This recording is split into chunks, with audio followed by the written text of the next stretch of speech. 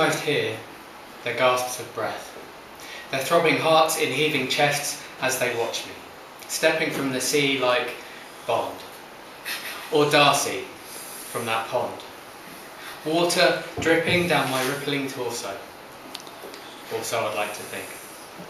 In truth, I stagger from the drink like a drunken sailor, less swagger, more failure to stand. Face first in the surf, then crawl onto land like some ancient fish that dreamed of legs but once granted its wish found that walking's no walk in the park. I stand myself up, shedding more shreds of self-esteem along with the sand that I wipe from my face, but I can't wipe my smile off for one simple reason. I'm here at the beach. It's bikini season, and you've never seen the sky this blue. I could almost, almost forgive the ice cream queue. Speaking of which, Mr. Whippy, please. Two flakes. Yeah, you heard me. Two flakes. That's how I roll. With manhood restored, I stroll back to the beach. But before I get there, my whippy's gone drippy. Despite frantically licking, my right arm's all sticky and half of it smeared around my face, in my hair. Mostly chest hair. Then from out of the sun comes a threat from the air. With dive bomber swoop and inhuman cry, a bloody gull dies, then flaps to the sky with my flakes as its prize, and I'm left screaming, Why? Why? Why is that man crying, mummy?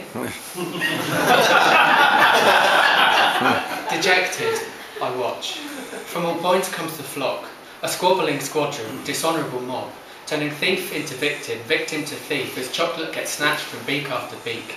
The battle moves on as they move to new fronts. I just hope that they choke on those tumbling chunks. My mood sunk to new lows. I tiptoe, oh, oh, over the shimmering heat of sun-baked beach. Got plates of meat cooking and I'm not looking cool. It's hard because it's hard to be chilled with your feet getting grilled. I just wish I turned heads because I'm a handsome earner, not because I'm looking, not because I'm walking like I'm dancing on a Bunsen burner. I find my place amongst the primary coloured clumps and flunk myself down on my towel beside mates whose fate is to wince in the shower for days. They need cream applied but can't ask a guy, so the risks are denied. Backs burnt by the rays because they're worried the girls will think that they're gays. I lay down and worship the bright God, hoping its photons will furnish my bright bod with just a hint of the honey it pulls. And in the womb of its warmth I forget my lost cause, but of course even on the brightest day, a storm is never far away, a shadow falls, a chill descends. In the time it takes my friend to say, oh my God, look. I sit up, lifting shades, hugging knees, and cast my gaze across the throng. I assume he spotted some spectacular thong again, but as I find my focus, I see I'm wrong. So very, very wrong. Between the beach where teenage lads and jealous dads are hottie spotting, and the bay beyond, with champagne quaffing bankers yachting in the middle, in the surf, there's a dog squatting. it's a big one, like a Bernard or Alsatian. I've seen this scene before, though never this location, so I think I know what's coming next, but those around it don't suspect that dog's about to lay some eggs. Oh no, no way, I can't look. Can't look away. With tail held high and haunches trembling, it launches slimy nuggets into hungry horses.